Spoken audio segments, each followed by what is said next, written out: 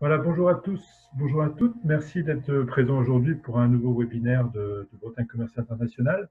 Alors aujourd'hui, on a le plaisir de recevoir le cabinet All for Feed. Euh, All for Feed est un cabinet spécialisé dans le secteur de la santé et de la nutrition animale. Et c'est des grands spécialistes et référentiels. Et donc, euh, suite à des demandes assez nombreuses d'adhérents DCI sur le GNP+, international, on a voulu développer cela. Maintenant, j'ai le plaisir de passer la parole à Audrey Guéveneux, donc, euh, qui est responsable de conseil chez All for Feed. Merci. Merci euh, Jacques. Bonjour à tous, bienvenue à ce webinaire euh, concernant le GMP Plus international ou comment une norme peut faciliter votre activité à l'export. Donc avant de rentrer dans le vif du sujet, une petite présentation de notre de notre euh, société. Donc, euh, notre société, All for Feed, est une société euh, déployée depuis 2008, 2018 pardon, dans le secteur de la santé et de la nutrition animale, donc avec vraiment ce qu'on appelle particulièrement le feed. Nous sommes trois collaborateurs et ensemble, nous associons plus de 35 ans d'expérience sur les sujets d'accompagnement autour des projets nutrition animale. Nos valeurs sont simples, c'est l'échange, avec vous, l'adaptation, du pragmatisme dans nos réponses et l'expertise sur les différents sujets, le monde de la nutrition animale étant vaste et varié. Notre objectif, c'est une solution au service de vos développements. Comme notre nom l'indique, nous avons quatre spécialités un premier pôle orienté sur le développement des spécialités nutritionnelles avec euh, euh, un soutien euh, particulier pour vous aider à définir vos formules, à rechercher des galéniques innovantes et des ingrédients innovants et surtout vous aider dans le choix des bons partenaires, notamment les sous-traitants spécifiques. Nous avons une deuxième activité qui est spécialisée dans l'amélioration des systèmes qualité un pôle réglementaire et bien sûr un pôle certification. Donc aujourd'hui, le domaine de la nutrition animale est extrêmement réglementé à différents niveaux. On va le voir lors de la présentation. Et euh, énormément de référentiels qualité se sont structurés au, niveau de nos normes et de notre filière. Euh, il est nécessaire d'avoir un recul euh, important sur, euh, sur ces normes pour aider euh, nos clients au déploiement de la, norme la plus adaptée pour leur secteur d'activité. On a également un pôle de formation, donc c'est développer les compétences de vos, de vos collaborateurs, notamment en ce qui concerne les bonnes pratiques d'hygiène et le déploiement d'une étude HSCCP au niveau de vos structures. Nous avons une troisième activité qui euh, s'oriente plus sur le développement de la stratégie commerciale, extrêmement important également dans notre domaine. Euh, le développement et, l'image de marque d'une entreprise euh, permet qu'elle reste connectée à son marché et surtout d'être adaptée au discours client. Et enfin, un pôle lié à une accélération du développement commercial qui est tout simplement un soutien pour développer votre marché à l'international notamment euh, en ce qui concerne les dossiers d'enregistrement euh, des produits euh, à l'export. Une équipe donc, de, trois collaborateurs, donc Tiffaine Perrault, qui est la personne en charge du pôle réglementation FID et biocide. Donc, je vous ai mis dessous quelques, quelques projets à laquelle nous participons. Donc, Tiffaine, elle est vraiment basée sur la mise en conformité réglementaire des produits et des aliments.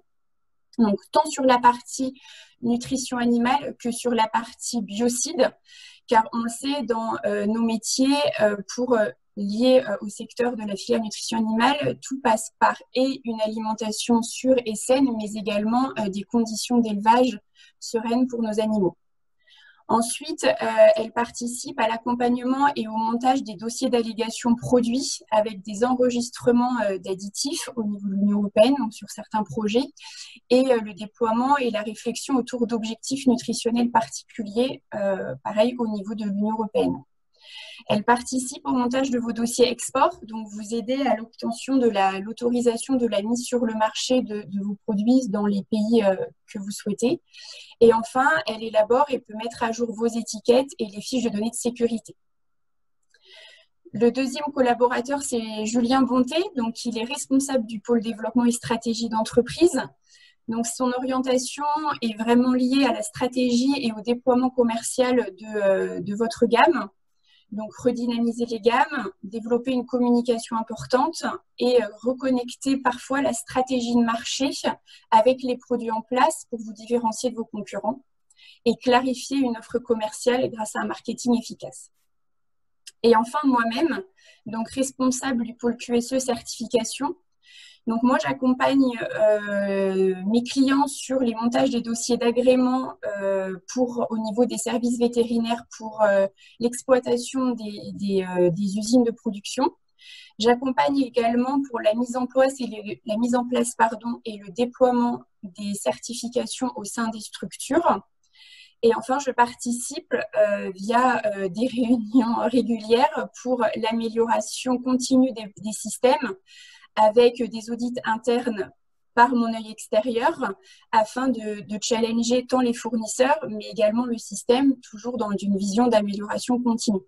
L'audit est avant tout un, outil qualité. On a tendance à l'oublier car il a été un petit peu stigmatisé dans, dans les images qualité, mais c'est avant tout un outil qualité très pertinent et très efficace pour remettre en question ou se poser les bonnes questions par rapport à notre système en place dans nos structures. Voilà pour le cabinet All for donc une équipe dédiée pour vos projets. Concernant donc le, sujet qui nous intéresse, euh, lié euh, la démarche était comment aujourd'hui une activité peut aider à dynamiser une activité à l'export la prise de contact a été faite donc avec euh, BCI l'année dernière et euh, la réflexion était, était s'est portée autour du GMP Plus international, tout simplement parce que énormément de, clients, d'adhérents pardon, BCI se posaient la question de, cette norme. Donc l'objectif de cette intervention, c'est de replacer le contexte européen de la nutrition animale dans un premier temps, de réfléchir au choix d'une norme. Il y en a beaucoup sur le marché. On en entend à gauche, à droite, euh, une norme française, une norme allemande, une norme néerlandaise. Euh, finalement, comment la choisir? Car c'était bien une action stratégique pour une entreprise. Enfin, une intervention sur le GMP, comment est structurée l'organisation et comment se structure le référentiel. Et enfin, une vision euh, à l'international du GMP, par un, état des lieux des différents partenariats que le GMP a monté depuis sa création. Donc, concernant le contexte de la nutrition euh, animale européen, donc il est assez, euh, assez récent et en même temps, il date de 20 ans. La prise de conscience a, été, euh, a vraiment été, a été faite dans les années 1990-2000, tout simplement avec la crise sanitaire majeure de la vache folle. Cette crise a vraiment marqué les esprits euh, car c'était la première fois qu'une crise sanitaire par l'alimentation de nos animaux de rente avait un impact sur la santé humaine.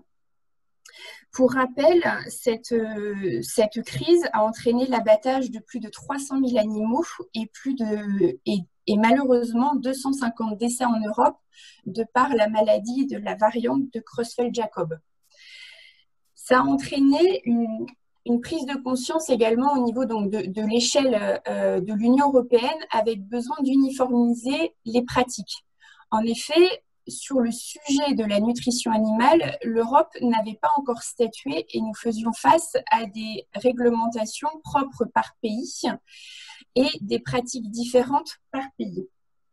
L'objectif de, l'Union européenne, c'était d'harmoniser, les conditions de mise sur le marché, de garantir un niveau élevé de sécurité sanitaire et donc un niveau de sécurité et de protection de la santé publique, de fournir une information claire et pertinente aux utilisateurs et aux consommateurs et de renforcer le marché intérieur.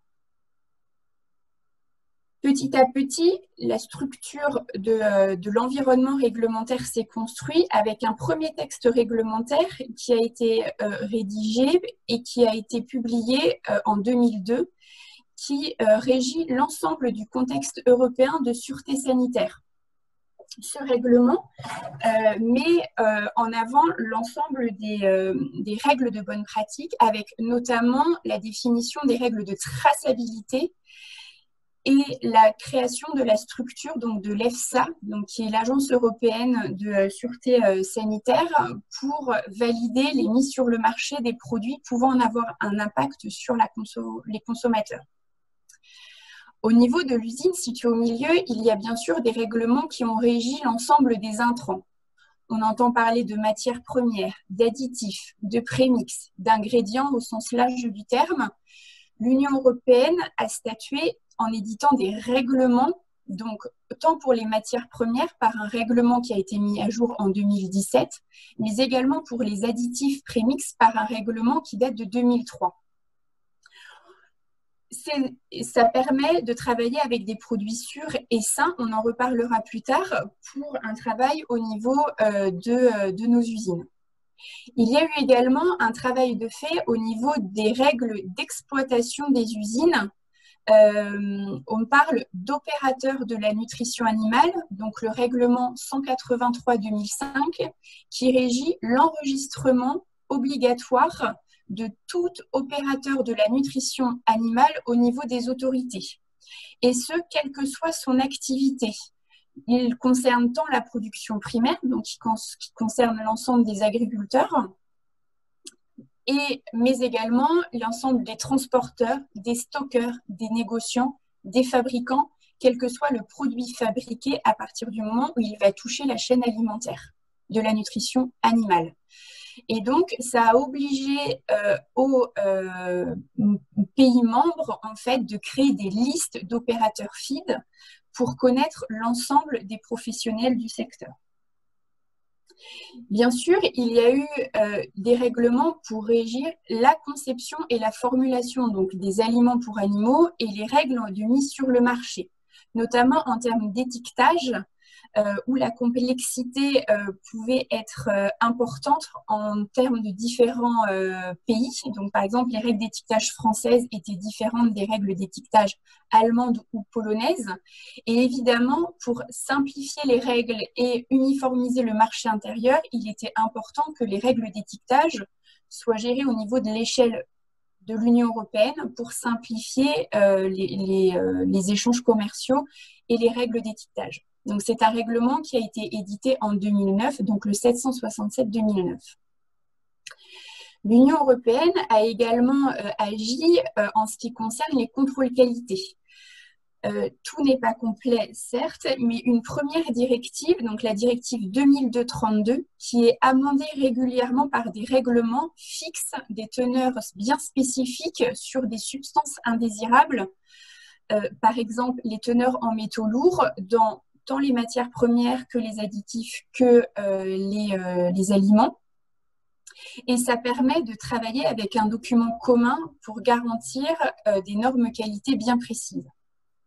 Au-delà de ce panorama, il, y a bien sûr toutes les réglementations annexes qui peuvent s'y rattacher, comme par exemple les produits biologiques, aujourd'hui en plein essor, la réglementation concernant l'étiquetage des OGM, et les réglementations liées aux sous-produits d'origine animale par le règlement 1069-2009.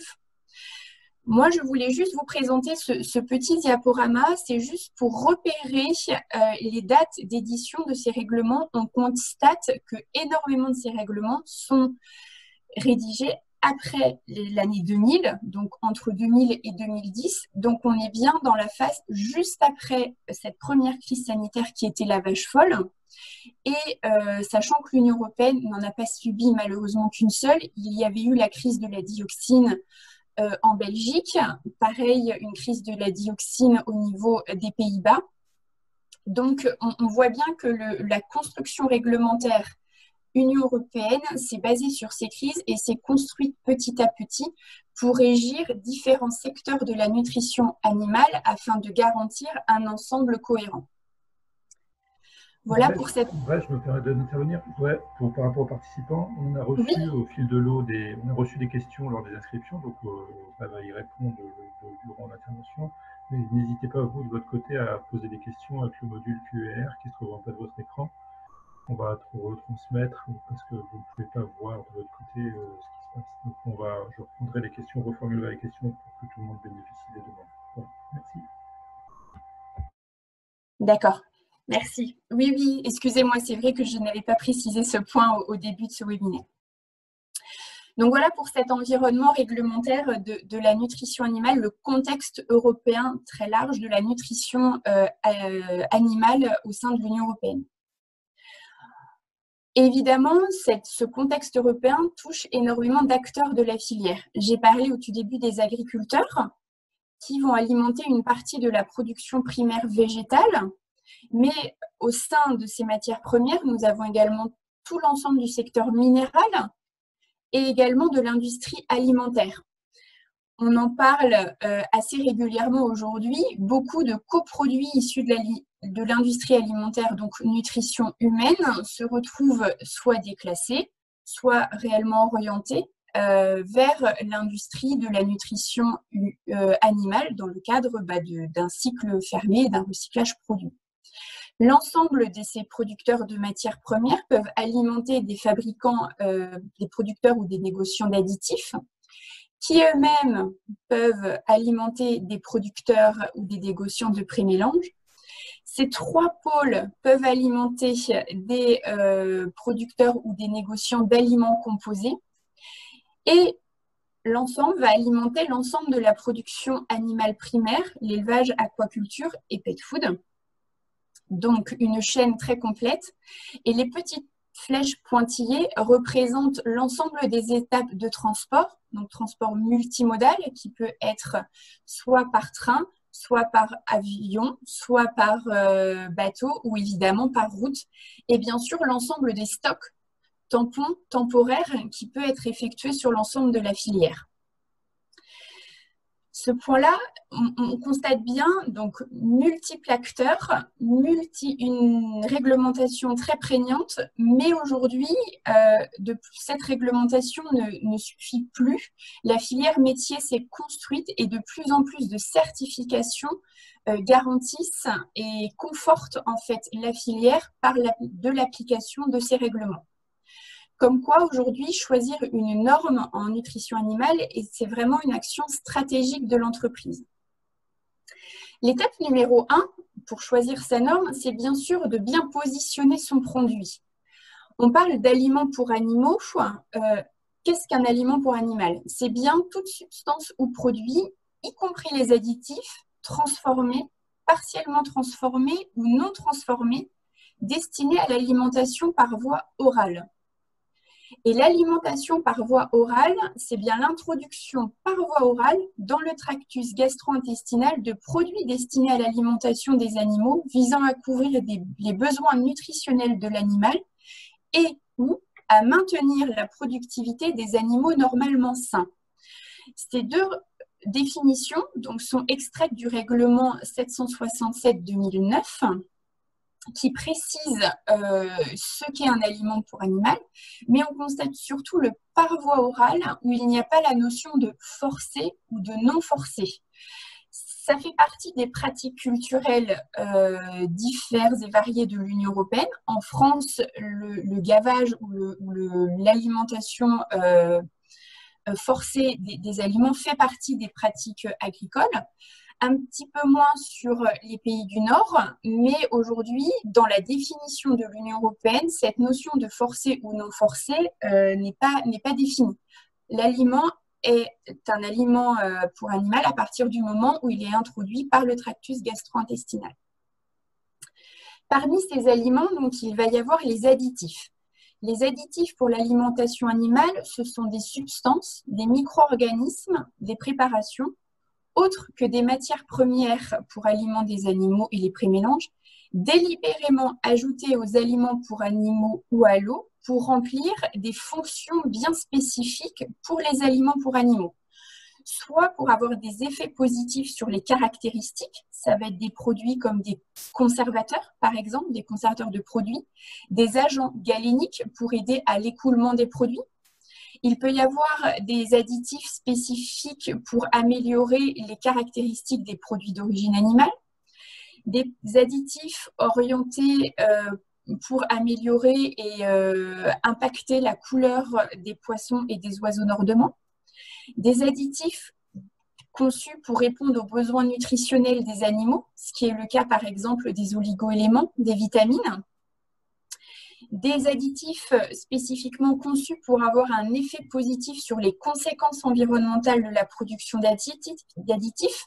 Donc, ce sont des additifs spécifiques euh, qui euh, va permettre de réduire ou d'améliorer, par exemple, l'absorption en phosphore ou en azote par les animaux pour éviter des rejets trop importants euh, dans les. C'est des produits qui peuvent avoir un effet positif sur la production, le rendement, le bien-être des animaux, euh, avec qui en influençant par exemple la flore gastro-intestinale ou la digestibilité des aliments. Et enfin, une catégorie qui concerne les effets coccidiostatiques ou histomonostatiques. Ces additifs, euh, ce sont des produits qui sont listés ce qu'on appelle sur un registre des additifs, donc régi par le règlement de 2003 que je vous ai présenté tout à l'heure dans le panorama européen. C'est une liste positive et pour que le produit classé additif soit euh, autorisé sur le marché de l'Union européenne, il doit être validé par l'EFSA, donc institut créé euh, en 2002 qui valide les dossiers d'additifs et qui va autoriser la mise sur le marché de cet additif. Donc, ça impose aux fabricants d'additifs de garantir la sécurité tant au niveau de l'animal, mais également la sécurité donc, de l'homme par l'ingestion de l'animal, mais également dans la manipulation et dans l'usage pour la sécurité des travailleurs. Il y a également dans les dossiers additifs une partie de validation en ce qui concerne l'impact sur l'environnement. Il y a ensuite ce qu'on appelle les prémélanges. Les prémélanges d'additifs pour l'alimentation animale, euh, ce sont des mélanges euh, qui sont composés de un ou de plusieurs additifs avec des matières premières ou qui peuvent être mis dans l'eau comme support, mais qui ne sont pas destinés à l'alimentation directe des animaux. Donc, ils vont être introduits soit dans l'eau, soit rentrés dans la composition d'aliments composés, au même titre qu'un additif. Il ne peut pas être donné en état à l'animal. Nous avons ensuite les matières premières pour alimenter des animaux. Donc, ce sont les produits d'origine végétale ou animale dont l'objectif principal est de satisfaire les besoins nutritionnels des animaux à l'état naturel, frais ou conservé, et les produits de leur transformation industrielle, ainsi que les substances organiques ou inorganiques. Ça correspond donc au point minéral que je vous ai montré euh, dans les slides précédentes, comprenant ou non des additifs, qui sont destinés à être utilisés pour l'alimentation des animaux par voie orale, soit directement en l'état, soit après transformation, ou qui peuvent être utilisés pour la préparation d'aliments composés pour animaux ou en tant que support des prémélanges. Déjà, nous sommes rendus à trois définitions bien spécifiques et donc trois produits bien particuliers. Et on parle d'aliments composés pour animaux, un aliment composé, c'est un mélange d'au moins deux matières premières pour alimenter des animaux, comprenant ou non des additifs, qui est destiné à l'alimentation par voie orale, soit sous la forme d'un aliment complet pour animal, soit euh, sous la forme d'un aliment complémentaire. L'aliment complet, c'est un aliment composé qui assure la ration journalière de l'animal. L'aliment complémentaire, c'est un aliment composé qui a été spécifiquement développé avec et qui présente des teneurs élevées en certaines substances, mais qui, en raison de sa composition, n'assure pas la ration journalière euh, de l'animal et donc il doit être associé avec d'autres aliments. On trouve également des catégories d'aliments d'allaitement. Ce sont des aliments composés pour animaux qui sont administrés soit en l'état, soit après dilution dans une quantité de liquide destinés à l'alimentation des jeunes animaux en complément ou en remplacement du lait maternel.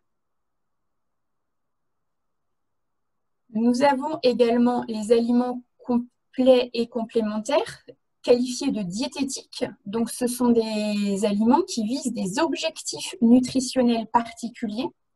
Et un objectif nutritionnel particulier, c'est un objectif qui consiste à satisfaire les besoins nutritionnels spécifiques des animaux dont le processus d'assimilation, d'absorption ou le métabolisme est ou risque d'être perturbé temporairement ou de manière irréversible et qui, de ce fait, peuvent tirer euh, des bénéfices de l'ingestion d'aliments euh, pour animaux appropriés à leurs états. Ces aliments diététiques répondent à ces objectifs nutritionnels particuliers et ces objectifs nutritionnels particuliers sont régis dans un règlement bien défini qui régit la définition réelle de cet objectif et les contraintes de formulation à avoir pour pouvoir qualifier cet aliment de diététique. Et enfin, les aliments minéraux, ce sont des aliments complémentaires pour animaux contenant au moins 40% de cendres brutes. Donc on constate beaucoup de définitions, beaucoup de positionnements, mais déjà au niveau de l'Union européenne, quand on parle d'un additif, d'une matière première, d'un aliment diététique, complémentaire ou complet, on parle de la même chose entre nous. Bien évidemment, à l'échelle internationale, les euh, réglementations peuvent évoluer et il y a bien une réglementation par pays et il convient de l'étudier bien spécifiquement. En effet, par exemple, pour euh, l'Australie, euh, des formes galéniques, par exemple un bolus qui est un comprimé au blond donné à l'animal de manière forcée via un lance-bolus, ces formes-là sont d'office en catégorie euh, médicaments, de par euh, cette forme. Euh, donc, il convient d'étudier vraiment le périmètre marché à laquelle le produit va être, proposé pour connaître les spécifications des réglementations de, de ces pays. Donc, étape numéro 1, j'ai défini mon produit. Étape numéro 2, je dois définir mes activités. Moi, en tant qu'opérateur de la nutrition animale, quelles sont les activités euh, que je que j'effectue sur mon site? Est-ce que je fais de la fabrication? Est-ce que je fais exclusivement du stockage? Est-ce que je fais que de la distribution? Est-ce que je fais du négoce? Je ne l'ai pas noté, j'y pense que maintenant, mais est-ce que je fais exclusivement du transport? Donc, il convient déjà de positionner ces activités. Étape numéro 3, définir son périmètre marché est-ce que mon produit est sur une échelle locale et sur une échelle européenne ou est-ce que mon ambition est vraiment une échelle à l'international, tout continent, euh, tout continent inclus? Et donc, une fois que j'ai ces trois étapes-là, il convient de connaître les référentiels. Beaucoup de référentiels existent sur le marché et j'ai essayé euh, de résumer par ce petit tableau l'ensemble euh, des, instances et des référentiels présents. Je peux en avoir oublié et je m'en excuse tout de suite, euh, mais l'objectif, c'est d'être le, plus, euh, le plus objectif possible. Donc, une partie, la colonne origine, indique en fait l'échelle à laquelle le, conseil d'administration de, l'instance se situe pour la, rédaction et le suivi de son référentiel. Donc, au niveau de l'Union européenne, il y a trois instances en place, les fiscs, le FAMIQS et le COCERAL, qui régit des référentiels bien définis. Donc, les fiscs qui concernent plutôt les, matières premières, le FAMIQS orienté additif, mais qui aujourd'hui s'ouvre sur ce qu'on appelle des ingrédients de spécialité mais euh, qui, dans leur conseil d'administration, s'appuient sur des, euh, des, partenaires à l'échelle de l'Union européenne.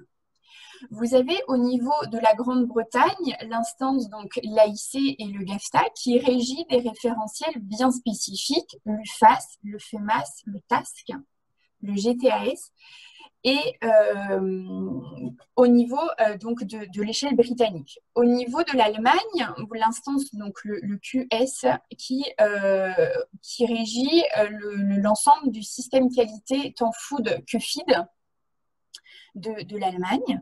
À l'échelle de la France, donc vous avez les instances Calimat et Ocalim. Donc Calimat euh, qui euh, régit le référentiel, donc Calimat Transport qui est vraiment orienté euh, transport et sécurisation des, importations. Et l'instance Ocalim qui euh, régit et est détentrice donc, du référentiel RCNA dédié à l'alimentation euh, aux fabricants d'aliments composés et euh, le référentiel RCF, le référentiel de certification fournisseur orienté pour les fournisseurs de matières premières.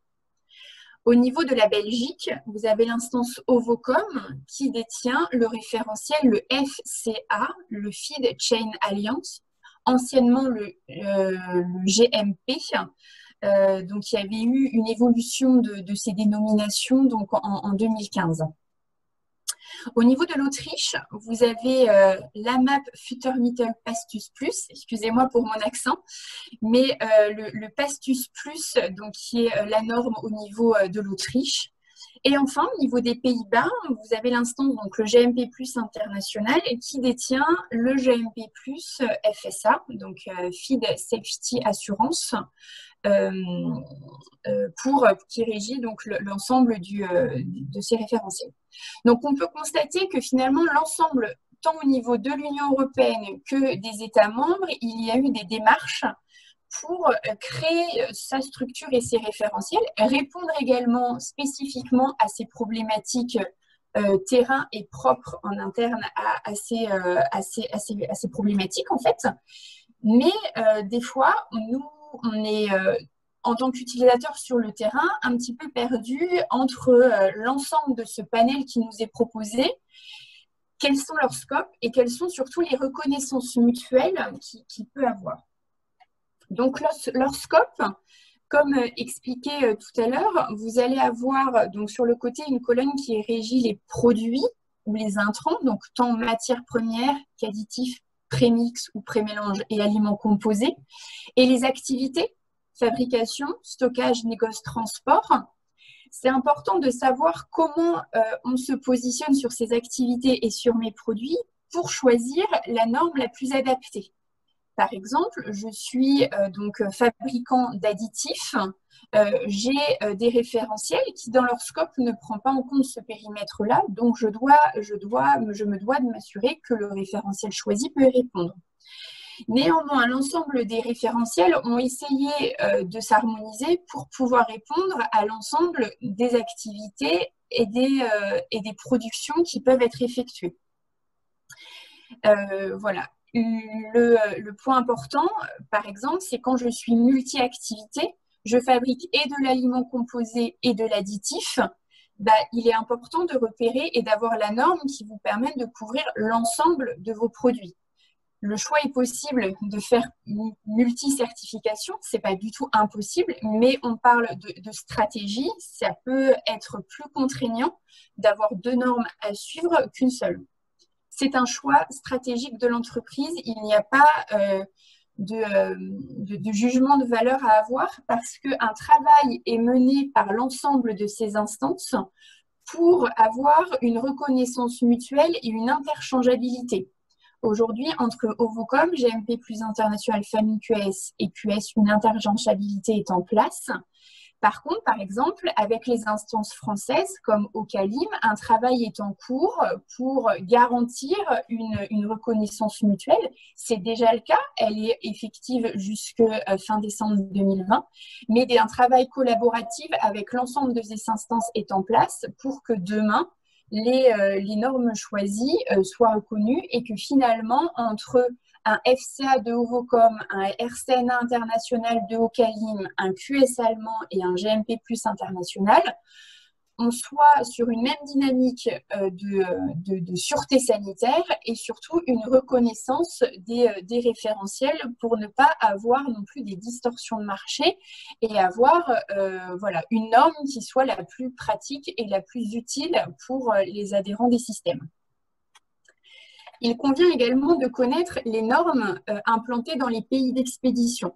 On revient sur le côté business, il faut le dire, une norme qualité, c'est stratégique et selon les pays d'implantation, des normes sont en place ou sont plus ou moins connues par ces pays euh, d'expédition et, d'export. Donc, de, connaître sur le marché ce qui est demandé, ça peut être un petit plus pour les équipes commerciales implantées. Pareil, vous avez des exigences tout simplement de votre client qui a des exigences bien définies sur ses fournisseurs et qui malheureusement ne vous laissera pas forcément le, choix quant au choix de votre norme.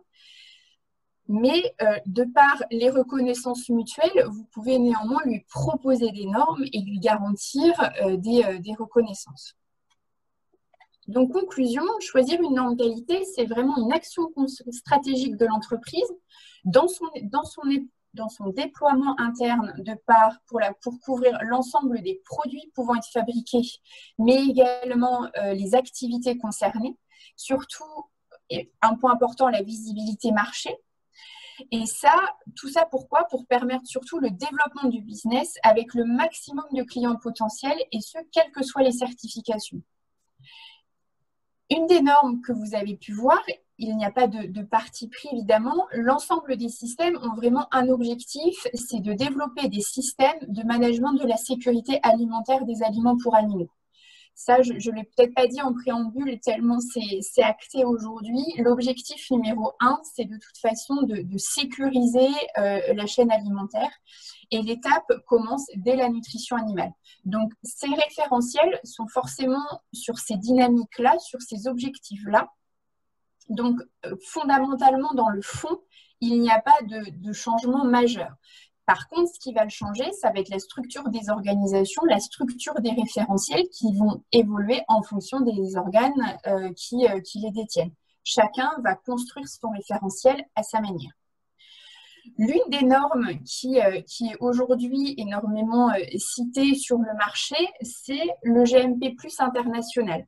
Donc, comme euh, dit euh, en préambule de cette intervention, euh, le BCI avait été sollicité sur, cette norme qui, comme vous avez pu le voir dans les, slides précédentes, couvre l'ensemble du périmètre et aujourd'hui très implanté. Donc, un petit point sur qu'est-ce que le GMP international, comment est structurée l'organisation et comment se construit le référentiel. Une volonté du GMP Plus international, c'est de croire que chacun, peu importe qui il est ou il vit, devrait avoir accès à des aliments sains.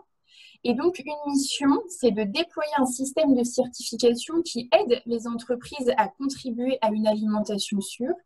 Et c'est de recueillir et partager les informations du monde entier euh, concernant l'assurance de la sécurité des aliments pour animaux afin de maintenir un programme à jour et une communauté réactive par rapport aux événements du marché. Le GMP est en place depuis 25 ans. Il a été créé en 1992 pour faire un petit euh, une rétroactivité. On, se trouve en plein dans la crise de la vache folle euh, voilà, 87, pardon, 90, 2000, le début euh, au niveau du marché euh, hollandais, la création du GMP, donc démarrage du, GMP en, en, 1992. 1994, le GMP se structure et rédige ses référentiels sur les bases de l'ISO 9001. tout simplement également parce que d'un point de vue qualité, l'ISO 9001 prend de plus en plus de, place. Et bien sûr, une réflexion est en cours de combinaison des normes pour que, et entre le GMP, GMP à l'époque, et les normes ISO, le déploiement au sein des structures soit facilité. En 2000, passage, passage au GMP, il y a intégration dans les exigences du GMP du déploiement de l'HACCP, donc l'analyse des risques sanitaires, donc cœur du système. Dès 2000, il faut savoir que réglementairement parlant, le déploiement de l'étude HACCP est, exigé par le règlement 183-2005 qui régit l'enregistrement des opérateurs FID. Et à partir du moment où je suis opérateur de la nutrition animale, je me dois d'avoir une étude HACCP à jour, une analyse des risques sanitaires que moi, en tant qu'entreprise, je peux générer sur ces euh, aliments pour animaux, je me dois de l'avoir. Donc le GMP passe en GMP avec l'évolution du petit logo, avec le plus qui va se, mettre sous le, P euh, du GMP. Et il y a la création du système d'alerte rapide.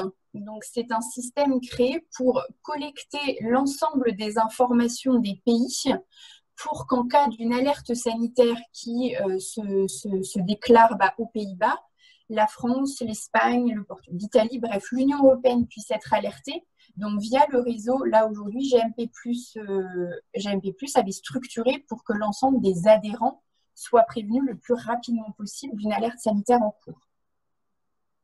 2004, le, référentiel évolue pour être euh, intégré dans des certifications et que la certification soit réalisée par une tierce partie de manière à avoir vraiment un système des plus objectifs.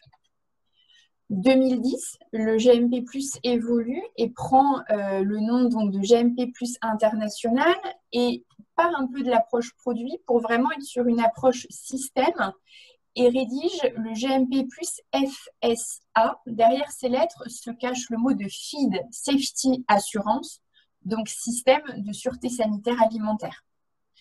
Le logo évolue, donc c'est le logo actuel que nous, que nous pouvons voir et qui, et qui est en place.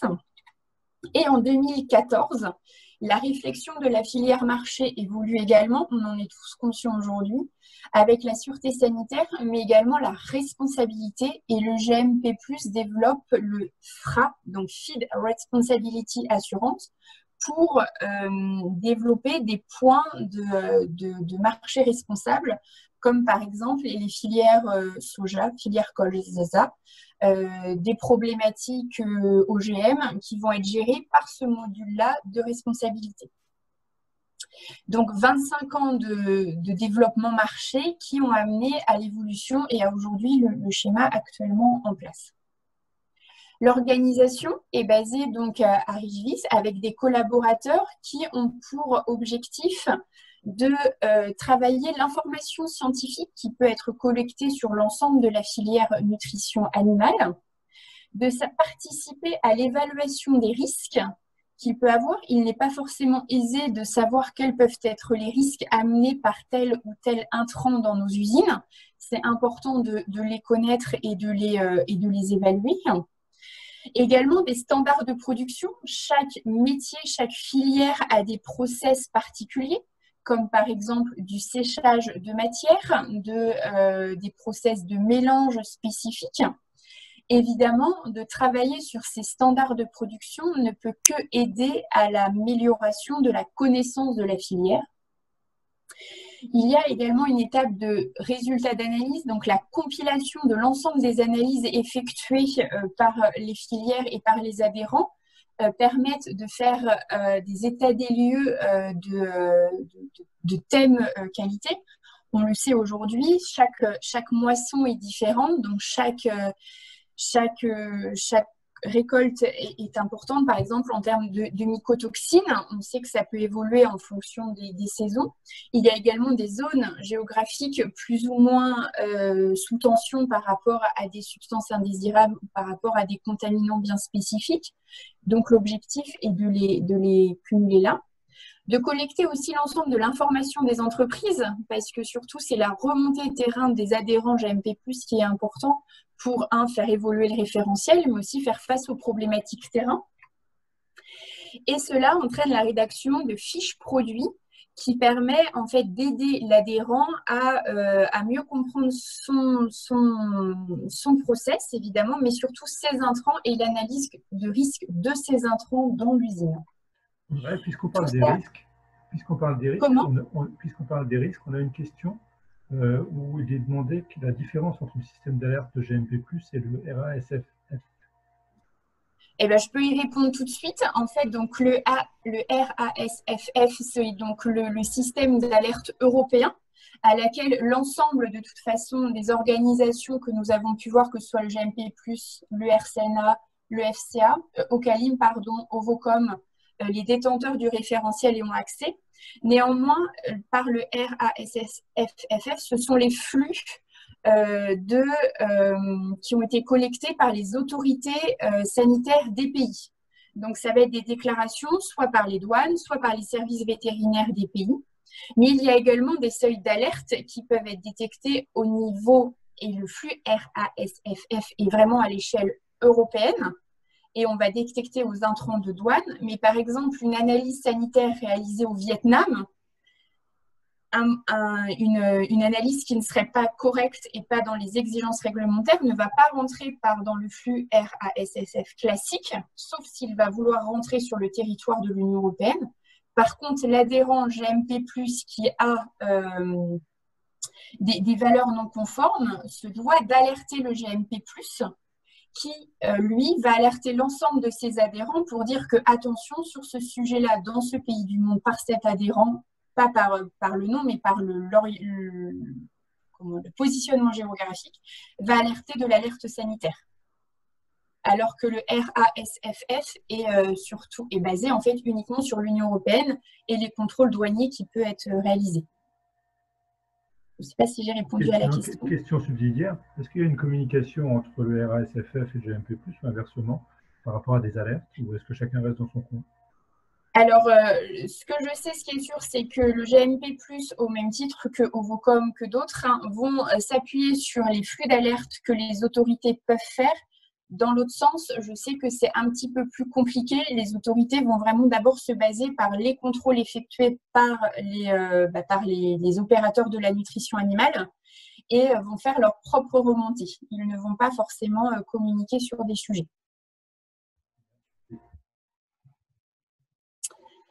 Euh, voilà, donc ces fiches produits vont aider en fait dans l'analyse de risque sur les intrants des produits des usines GMP+.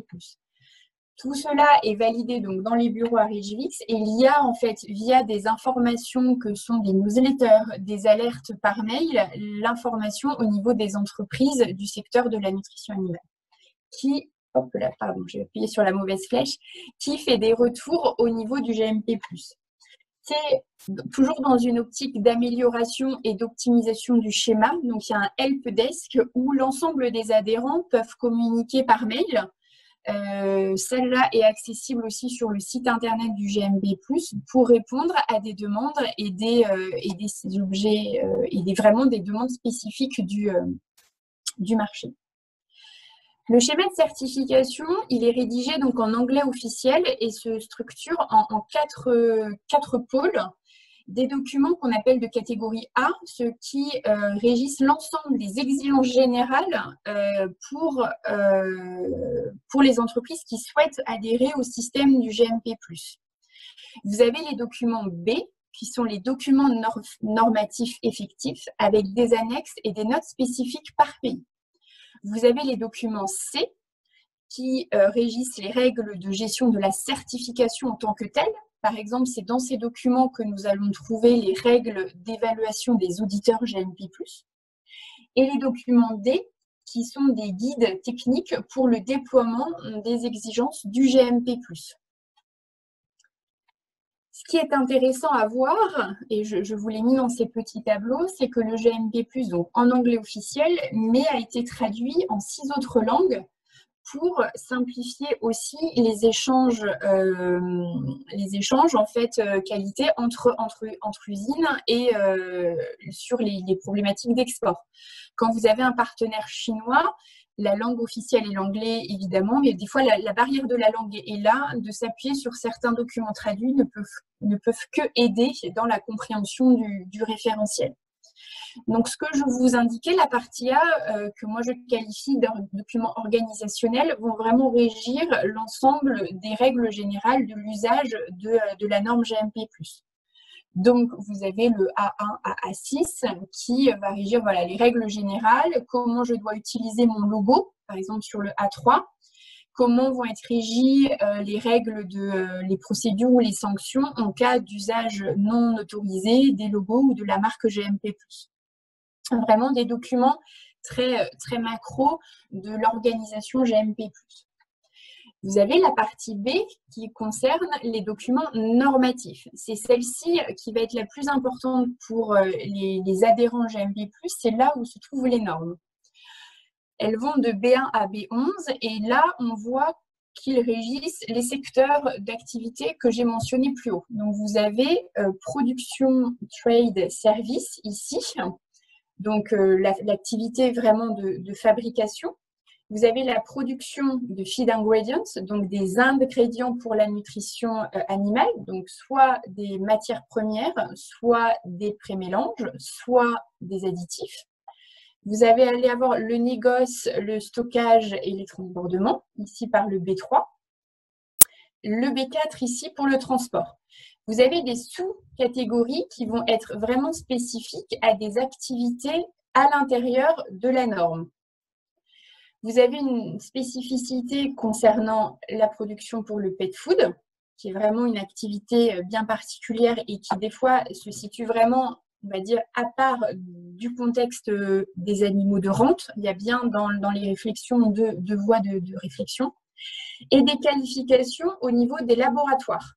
Donc le B10 et le B11, le B11 qui est le, dernier, qui, oblige en fait les laboratoires à être référencés GMP+, pour l'analyse de certaines analyses considérées critiques euh, dans votre analyse de risque sanitaire. Donc ces euh, normes-là sont traduites euh, en fonction des besoins et évidemment GMP est à disposition euh, de, ses adhérents s'il y a besoin de faire des traductions bien spécifiques. Il ne faut surtout pas hésiter à en faire la demande. Les documents annexes, ce sont des documents supports sur lesquels le GMP+, la norme initiale que, si je remonte le B1, donc la production va s'appuyer et va ensuite faire des annexes de spécification par thématique.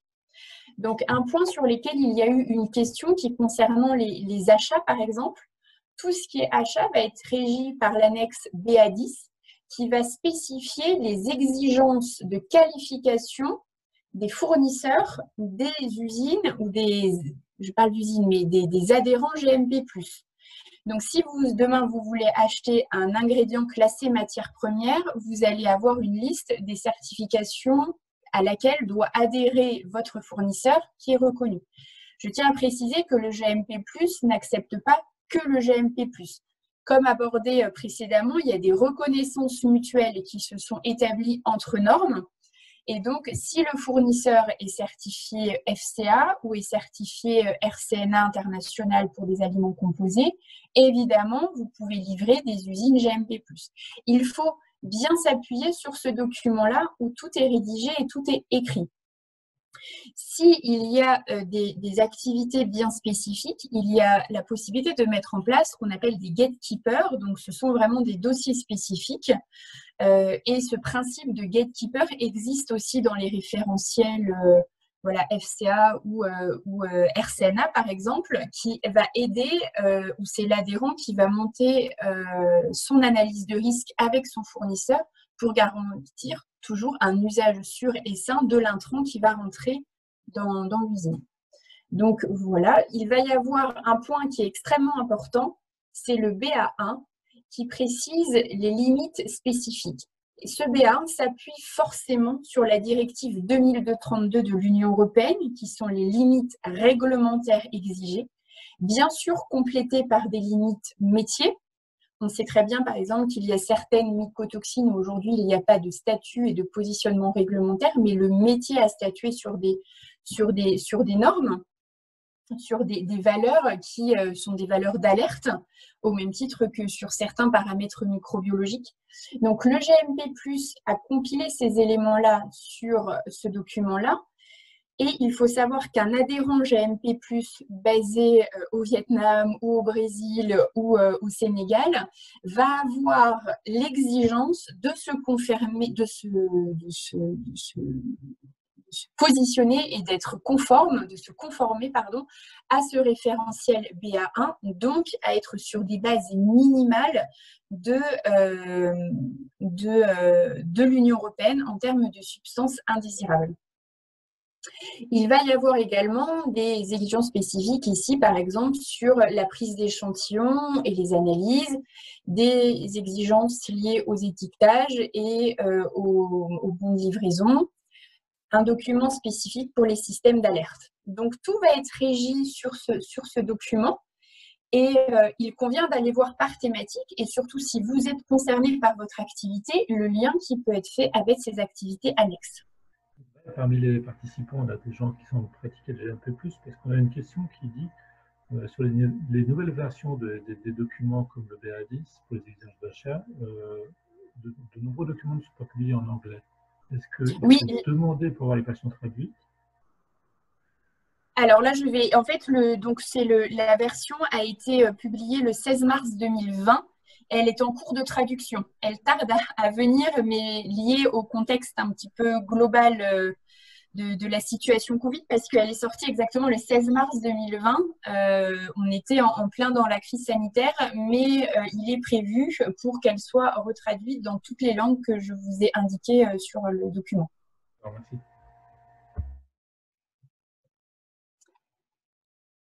Voilà donc pour, ces documents annexes. Il y a également euh, le GMP+, de par euh, sa dimension internationale, déployé en fait des country notes euh, pour, en fonction du positionnement de l'adhérent. Donc par exemple, vous pouvez le voir, pour des adhérents au niveau du, Vietnam, il va y avoir des spécificités qui ont été rédigées par le contexte géographique de, l'entreprise. Pareil au niveau de l'Italie, pareil au niveau de la Chine ou de l'Europe. Il va y avoir également euh, le QM Milk, donc c'est une exigence euh, des producteurs euh, laitiers au niveau donc de, de, de, l'Allemagne pour qualifier les aliments composés qui vont rentrer dans ces exploitations par la certification QM euh, voilà, c'est demandé aussi en France, mais euh, ça, va être, ça va concerner tant euh, c'est indépendant du GMP+, mais il y a une note qui a été faite pour simplifier la réalisation des audits et que la confirmation que les produits répondent aussi aux exigences du QM unique. également... Excusez-moi, je me permets d'interrompre. On a également une nouvelle question concernant les matières premières, un peu autour du BA10. si un fournisseur de matières premières n'a pas de certification, est-ce qu'on peut présenter une grille d'évaluation de risque pour ou est-ce qu'on ne peut pas euh, traiter avec alors, en fait, il va y avoir une réflexion à avoir sur si c'est déjà si le produit est bien une matière première, donc bien se rattacher à la définition que j'ai pu présenter euh, tout à l'heure. Et ensuite, quel est le produit? Est-ce que c'est, euh, je vais prendre des exemples concrets, est-ce que c'est un carbonate de calcium qui est minéral ou est-ce que ça va être un produit matière première mais qui est issu de l'industrie food? Par exemple des, produits laitiers, du lactosérum, etc. Parce qu'au sein du BA10, vous allez avoir donc les fameux gatekeepers et il convient d'aller regarder dans ces gatekeepers si potentiellement, donc mon ingrédient classé matière première, au sein de ces matières premières, je vais avoir plusieurs statuts, plusieurs positionnements, si je peux le faire passer dans le gatekeeper autorisé par le GMP+. donc c'est vraiment une étude au cas par carte. C'est un respect des garde-fous euh, édictés dans le, dans le BA10. Tout à fait. En fait, vous allez avoir euh, statut matière première. Dans les matières premières, il va y avoir les exigences classiques. Donc, si le fournisseur est certifié, c'est parfait. Mais après, il va y avoir, en fonction du positionnement réel de la matière première, si c'est euh, un sous-produit d'origine animale, si c'est un sous-produit laitier, si c'est un minéral, si c'est euh, des herbes. Aujourd'hui, il y a toute une réflexion tout ce qui est herbes et épices.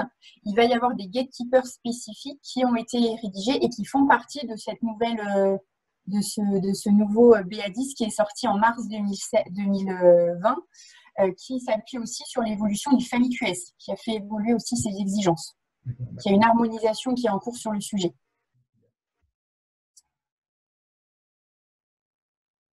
Voilà, et donc, euh, pardon, excusez-moi, pour les country notes, donc c'est spécifique euh, à, des, à des projets spécifiques euh, de l'entreprise, donc c'est à réfléchir après à voir si cela peut être intéressant pour vous dans le cadre du déploiement de votre norme.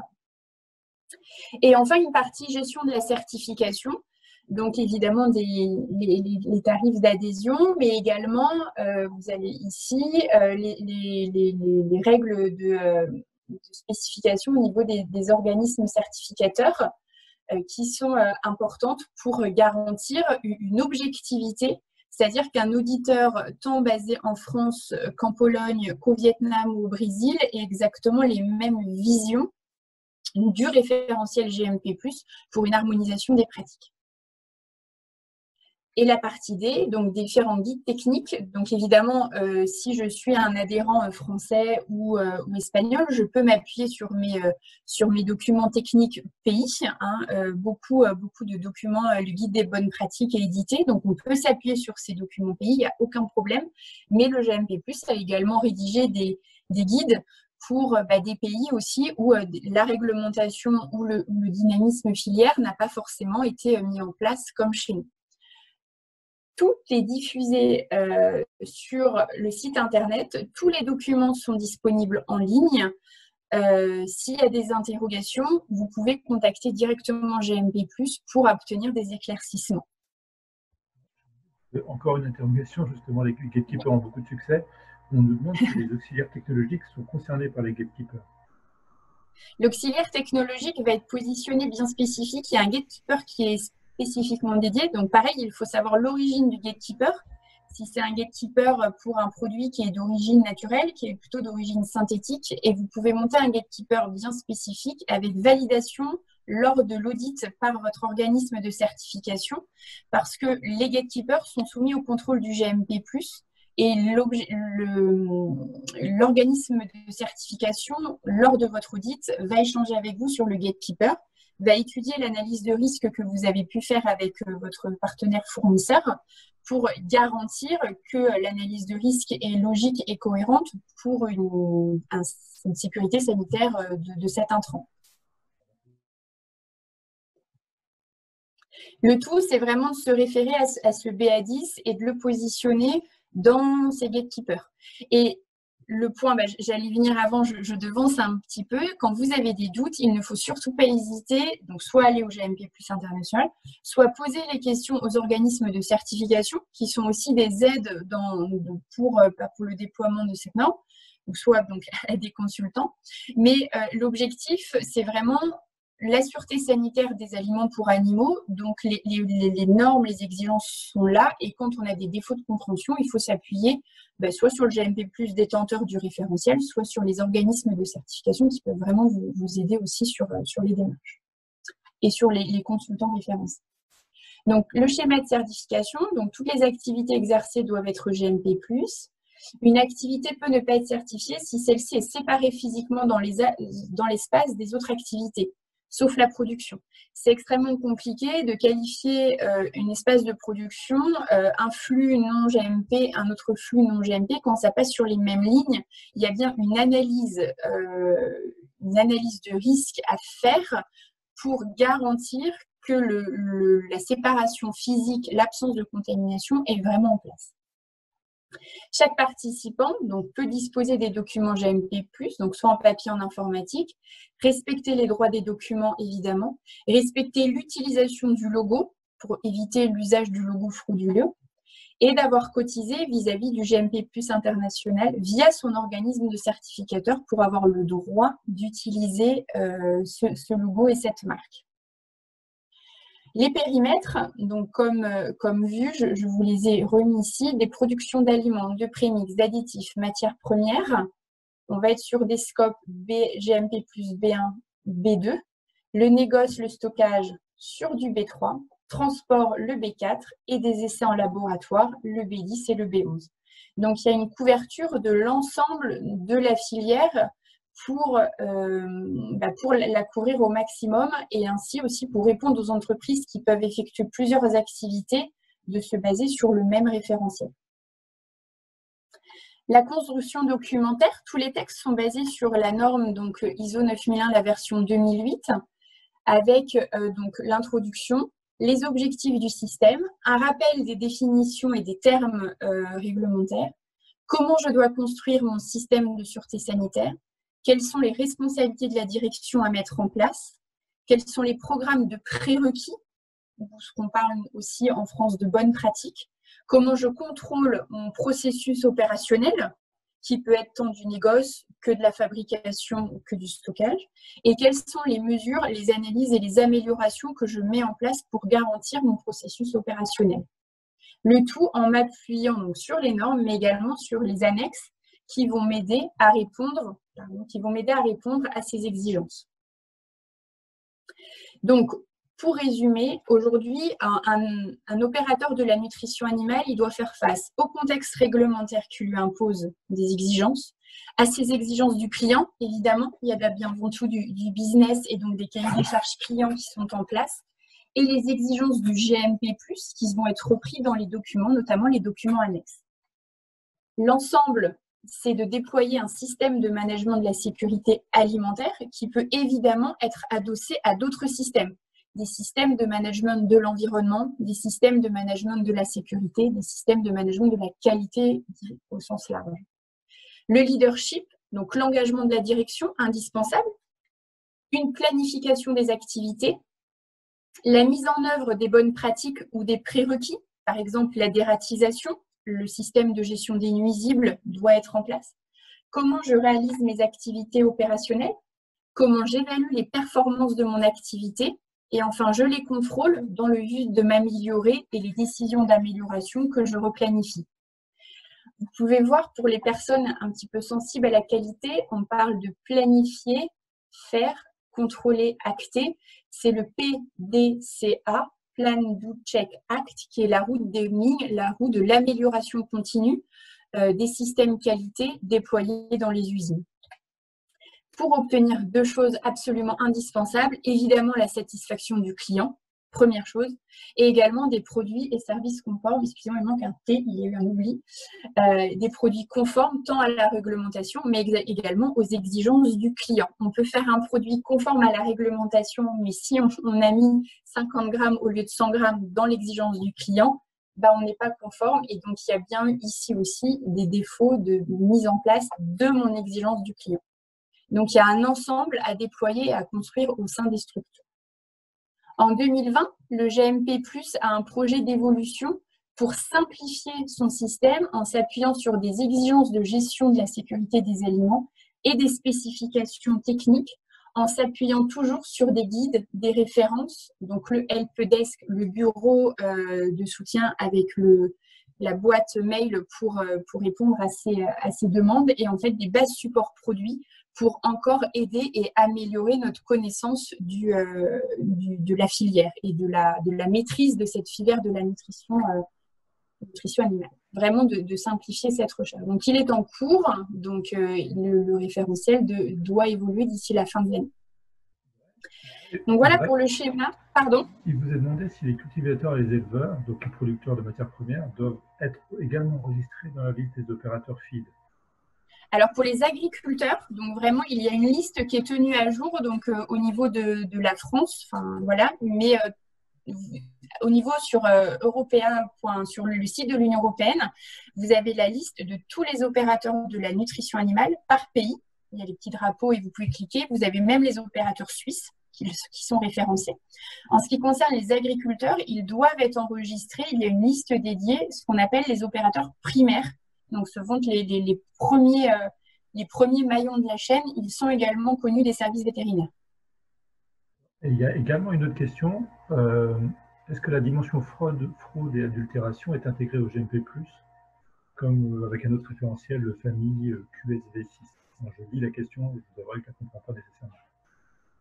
Oui, alors le Family QS a évolué donc pour améliorer et intégrer ce côté fraude et, et euh, adulteration, mais le GMP euh, commence à, évoluer. Ça va faire partie du GMP Project 2020 pour intégrer ces dimensions-là euh, au sein, des, au sein du, référentiel également. C'est l'évolution logique. Hein. Par exemple, sur la prévention de la lutte contre la malveillance, le, le détenteur au calibre, le référentiel français, a fait un paragraphe sur ce sujet également pour, euh, pour améliorer les usines. On va dire qu'aujourd'hui, la sécurité sanitaire est en place dans nos milieux. Maintenant, il s'agit d'agir au niveau sur la malveillance et l'adultération des produits. Donc, les, les, référentiels sont en train d'évoluer sur ces voies-là, tout à fait. Au même titre, ce qui est demandé pour le food. Donc, par rapport à, ce que j'ai pu vous présenter aujourd'hui sur le, le référentiel, donc là, c'est la construction d'un référentiel fondamentalement, l'objectif de déployer un système de sûreté sanitaire, les autres schémas sont sur ces mêmes dynamiques. que ce soit du FCA, que ce soit le, RCNA, on est sur je déploie un système pour sécuriser euh, l'usage de mes intrants et sécuriser la mise sur le marché de mon produit. Mais le GMP Plus international, par son nom, a déployé des partenariats internationaux et c'est la visibilité d'une norme qui peut aussi être stratégique. On en a parlé tout à l'heure sur le choix de, cette norme. Pour quelques chiffres qui peuvent, qui peuvent indiquer plus de, de 26 804 certificats GMP+, Feed Safety Assurance déployés sur 18 232 entreprises à travers le monde. À ce jour, que 664 certificats GMP+, orientés sur la responsabilité, déjà parce que tout le monde n'est pas concerné, mais c'est aussi une dynamique qui est en train de se, se monter au sein de nos filières. La norme est présente dans 86 pays, il y a 450 auditeurs à travers le monde sur 35 organismes de certification, plus de 41 partenariats au niveau de la chaîne Feed et Food et 14 consultants référencés à travers le monde et 4 représentants nationaux. Donc, comme vous pouvez le voir sur la carte, il y a quasiment tous les pays qui ont été faits, les petits points, les, restes en, blanc, donc évidemment l'Afrique, même s'il est en train de, se développer, et quelques pays où le GMP+, n'est pas, encore, euh, présent. Le but euh, de, ces partenariats, c'est de, vraiment de, travailler ensemble et de collaborer sur le réseau nutrition. Et le GMP+, c'est donner la mission de, des fois diriger, de coordonner et d'échanger sur ces connaissances. Le tout, c'est de travailler ensemble on est ensemble pour garantir quoi? La sûreté sanitaire des aliments pour animaux. Et pour cela, le GMP s'appuie évidemment sur ces entreprises certifiées, mais également les entreprises non certifiées GMP pour des remontées d'informations, les instituts de recherche, des consultants, des organisations gouvernementales, des autres schémas de la nutrition animale extrêmement importants dans les échanges et dans la construction de nos filières, les schémas de nutrition humaine, les schémas de certification agricole et des, associations, des associations pardon, nutrition alimentaire et nutrition euh, humaine. Et les organismes de certification, bien évidemment. En termes d'association, le, GMP a développé donc des partenariats feed et food pour avoir une représentativité euh, de, son référentiel et d'apporter une contribution pratique au déploiement de son système, mais également de bien comprendre les exigences du pays respectif. Aujourd'hui, on, est a une visibilité, de nos réglementations européennes, la connaissance des marchés et de la réglementation dans des autres pays.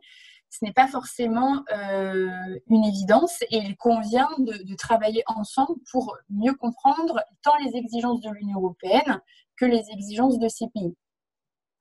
L'objectif, c'est bien sûr de collaborer et de soutenir la sensibilisation et au transfert de connaissances, toujours sur la sécurité sanitaire des aliments pour animaux. Donc le GMP+ a déployé des partenariats. Donc par exemple ici ce petit logo là, qui est donc l'association euh, de Pékin de l'industrie euh, alimentaire donc en Chine, vous avez ici le logo, donc c'est le, logo, euh, je ne parle pas vietnamien, je vous le dis en français, donc qui sont pour les entreprises vietnamiennes de haute qualité alimentaire, où le GMP travaille avec cette instance vietnamienne pour euh, aider et à construire le référentiel d'exigence de ces entreprises vietnamiennes sur des bases du référentiel GMP+, pour euh, augmenter la sécurité sanitaire.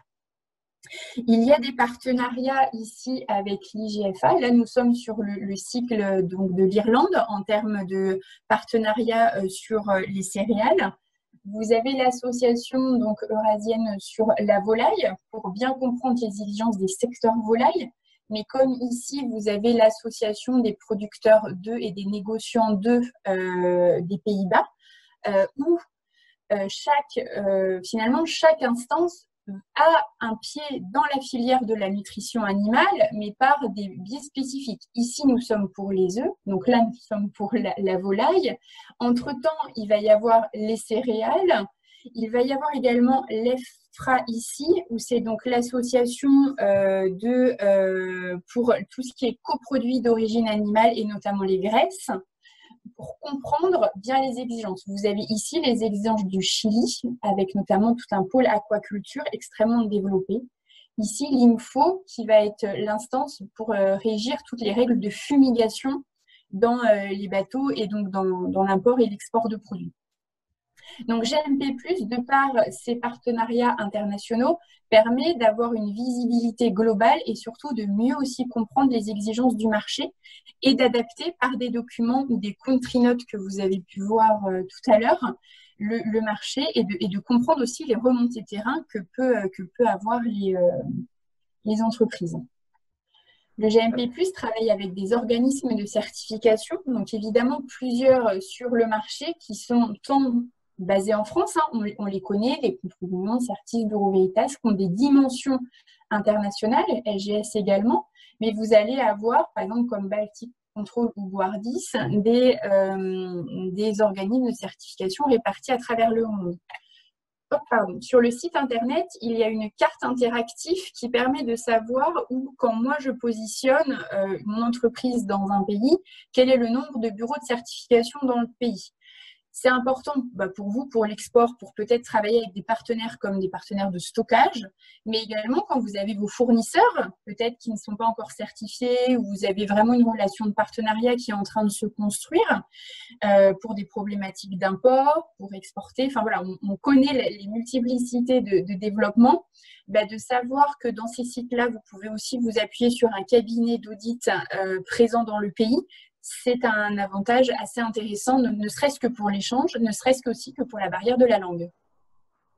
Pour préciser encore un peu plus le GNP+, oui, pardon. il est demandé euh, comment les, instances décisionnelles de GNP+, sont organisées en fait. Comment il y a un cap qui est donné à l'association? Est-ce a des organismes dans le bureau, des entreprises qui composent le, bureau de GNP+. Quel, enfin, indirectement, je pense quel niveau d'indépendance a GNP+, par rapport au, au milieu dans lequel D'accord. Alors, le, dans le, il y a un bureau donc, qui est défini. La liste de, des membres, en fait, sont définis sur le, site Internet. Euh, et euh, c'est ces instances-là qui, qui, vont les régies. Et ensuite, il va y avoir des pôles de compétences bien spécifiques sur euh, les activités que peut être menées par le GMP Plus international.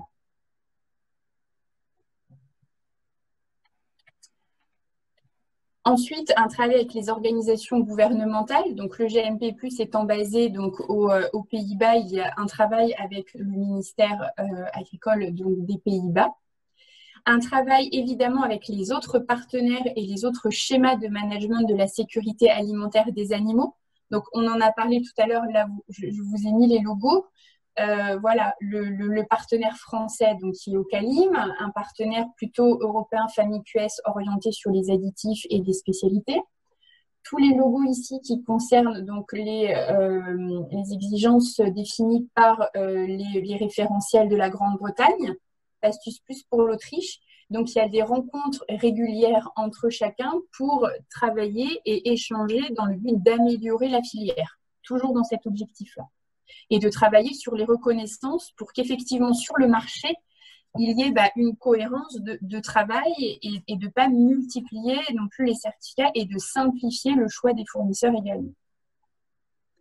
Un travail évidemment avec les schémas de certification agricole et les autres schémas de nutrition humaine. La filière de la nutrition animale est forcément rattachée à la filière de la nutrition humaine. Donc, il y a des travails, par exemple, avec l'IFS ou le FSCC 22000 pour bien comprendre leurs exigences et le positionnement, pour que des coproduits issus de ces euh, industries-là puissent aussi servir dans les, euh, dans les futurs denrées alimentaires. Des travaux avec le, QS, donc le système allemand, couvre et le système euh, nutrition animale et le système nutrition humaine. Voilà, ce sont des programmes et des travaux dans lesquels va s'intégrer le, GMP+. Et enfin, un réseau de consultants, donc plusieurs consultants euh, déployés. Donc, ce sont euh, des consultants basés à travers le monde. Donc, vous allez pouvoir ici, par exemple, AMC basé en Inde. Vous avez euh, Markovic Food Management qui est basé au Brésil. Vous allez avoir KDV qui est le consultant argentin. Euh, Dynamique Compétences qui est au Maroc. Euh, ce sont donc des, consultants où donc une démarche a été effectuée au niveau de GMB+, donc avec des rencontres, une animation, un examen aussi pour valider la, la connaissance du référentiel, de manière à pouvoir être sur le terrain et accompagner les entreprises qui souhaitent adhérer au référentiel. Euh, L'idée, c'est que quelle que soit la taille de l'entreprise, le référentiel GMP+, peut, peut, peut y répondre. Néanmoins, en interne, on n'a pas forcément la, compétence qualité, on n'a pas la connaissance du GMP+, on a besoin d'un moment d'échange euh, d'être avec un consultant, ce n'est pas la même relation qu'avec un organisme de certification ou être en direct avec le GMP+. Donc, ça permet de déployer le, réseau et de euh, d'aider euh, les futurs adhérents, voire même encore les adhérents, à améliorer leur système par des consultants répartis à travers le monde avec donc des points organisés ensemble d'échange pour que l'ensemble des consultants aient les mêmes informations et la même bah, mise à jour des documents pour que euh, le consultant argentin ou le consultant français ou le consultant hongrois bah, ait la même information sur ce référentiel. Il y a une autre question qui est tombée qui demande si euh, GMP reconnaît les certifications ISO 22000 ou l'IFS. Non, il n'y a pas une reconnaissance instantanée. Euh, ça ne peut que aider dans la validation de certains gatekeepers. Là, il faut faire au cas par cas. c'est listé en fait dans les exigences minimales il n'y aura pas une reconnaissance parce que euh, aujourd'hui, souvent dans les flux IFS, on va, vraiment regarder le flux, le flux food, hein, tout simplement, jusqu'au produit livré. Mais il y a forcément dans les diagrammes de fabrication, voilà, les résidus de filtre. Voilà, par exemple, sur la poussière de lait, j'ai le résidu de filtre. Bah, des fois, dans le flux IFS, il n'est pas forcément vu où il ne va pas forcément être regardé avec l'œil de la nutrition animale. Donc, ce n'est pas interdit. C'est pour ça qu'il y a des gatekeepers qui sont montés, mais il convient de, vérifier, d'avoir un échange avec son fournisseur sur ces thématiques-là. C'est en cours de travail.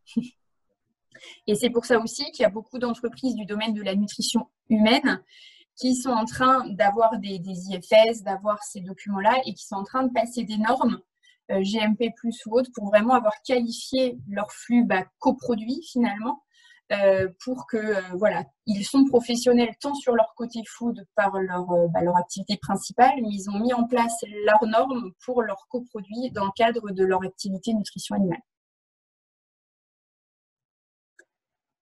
Donc voilà pour le, réseau de consultants. Donc c'est vraiment ensemble que le GMP a déployé son, son, activité il est réparti à travers, le monde. Il a une visibilité aujourd'hui de par ses 25 ans d'expérience. Comme dit précédemment, il n'y a pas euh, de, jugement de, valeur sur l'une ou l'autre norme. Il convient vraiment de, choisir la norme qui vous convient d'un point de vue stratégique.